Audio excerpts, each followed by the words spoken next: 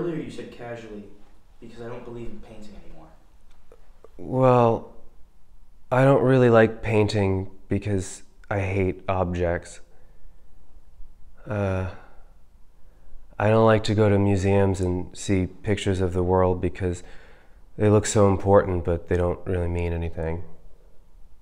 I think. People think of you as the perfect pop artist. Well, really knowing what that means, or I think really knowing what your work's about. I'd like to try and talk some more about your paintings and the things you did earlier, um, because there's something that I think needs to be explained before uh, the public, which has at this point a certain impression of you, and I'm not sure it's one that you want them to have.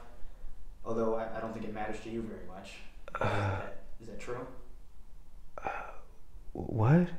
Does it matter to you the way people feel about you, one way or another? I mean, you have this kind of reputation now, which is a little bit a part of who you really are. I think. Does does it matter to you that this is so? That they feel one way rather than feel another way about you? Oh, uh, I, I don't understand. What, what are you saying? Uh, this is like being at the World's Fair and riding one of those Ford machines where, where the voice is behind you. It's so exciting. I mean, you should just tell me the words and, and I can repeat them. I, I just, I'm so empty today. I, I can't think of anything.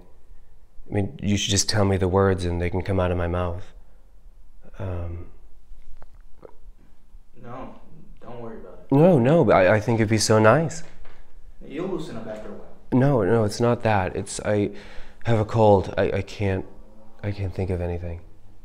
You should just give me a sentence. Okay. Um, well, let me ask you some questions that you can answer. Okay, but give me the answers too. When you began those films, you know, very simple without moving the camera and so on. Now you tend to make them more and more complicated. What are you trying to do now? Uh well, I am trying to see what else the camera can do. Uh, I'm mostly concerned with doing bad camera work, zooming badly, we zoom and miss the most important thing. Putting as many scratches on the film as you can, as much dirt on the film as you can, so that people know you're watching a film. Yeah. Uh, I it's really too hard to care. I I mean I care. I still care, but be so nice to not care. Uh, In other words, are you saying that you're involved in the idea of making people more conscious of their lives, but you don't really want to get deeply into their lives? You just want to stir it up? yeah. Yes, I don't want to get too involved.